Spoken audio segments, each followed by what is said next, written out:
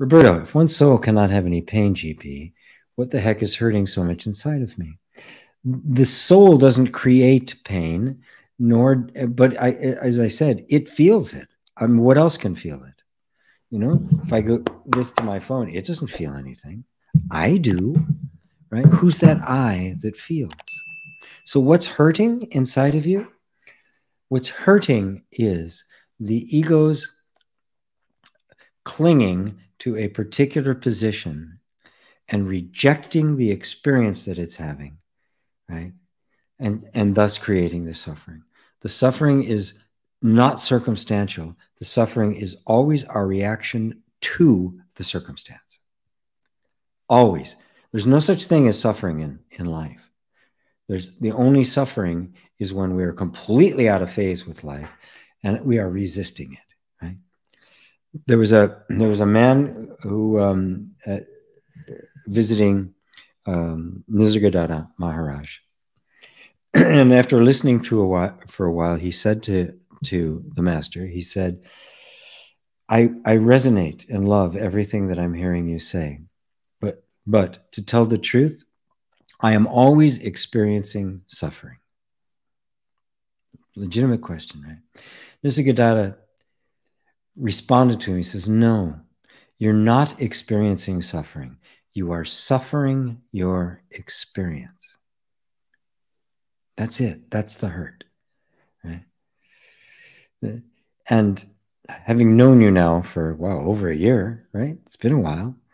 Um, you've made rapid, huge strides towards, towards transcending our argument with the way life is. It should have been different. I should have done stuff different. Oh, if only I hadn't done this, if I'd done this instead. The, the constant, that's all, that is suffering. Those thoughts are suffering. The circumstances themselves, which those thoughts are saying shouldn't have happened, the circumstances aren't causing the suffering because the very same circumstances could happen to somebody else and go, oh, wow, oh, well, right? If it was the circumstances that created suffering, then anyone who had similar or the same circumstances would also experience suffering. And you know that's not true. It doesn't happen. The same circumstance happening to two different people will have completely different experiences and reactions to it. For one, it's like the worst thing that ever happened. And for somebody else, it's like, oh, well, no big deal. Somebody else might even say, oh, man, this is probably better. All the reaction. So what's hurting is not the soul, which is the sentience that allows you to experience anything, right? And believe me, if it wasn't for the soul, you wouldn't be having any hurt, but you wouldn't also having any pleasure. You wouldn't have any joy. You wouldn't have any any experience whatsoever. But in order to have experience, it must be the dance of op opposites. We suffer when when we want one part of the dance of opposites and not the other. You can't. You can't do it. It's it, has got to be that, right? It, it, so if I say it's got to be and not that, I want nothing but this and not that, you will suffer because you're you're you're trying to run contrary to life. You're standing in an ocean during a storm, trying to push the waves back out to sea, getting pummeled constantly. Going, what's the matter? You're trying to do what you can't do what nobody can do, right? What Buddha can't do it. You cannot make the permanent permanent. You cannot make the opposites. You cannot choose, take one without the other. You, you cannot, you, you must embrace both.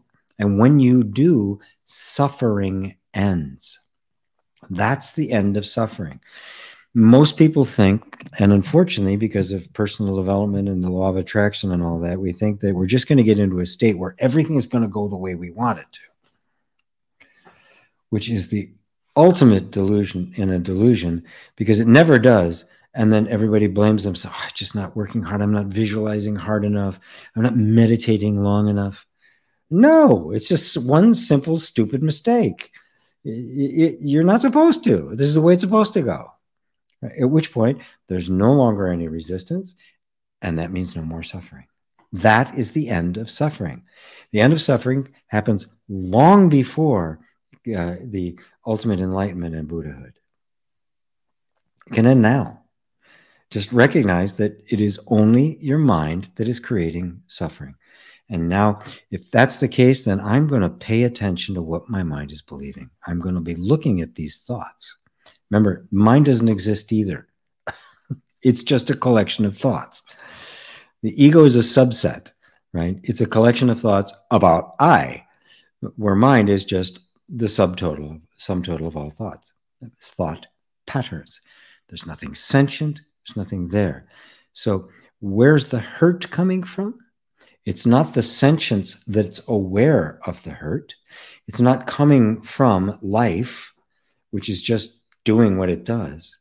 It is this thing in the middle that says and is believed, I don't like that. Who's that I?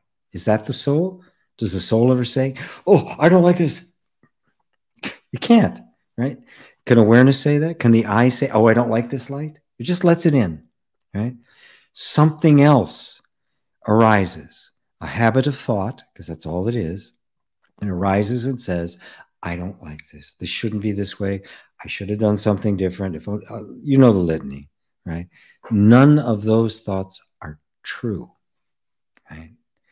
And I know you've seen it because you've had those moments of clarity.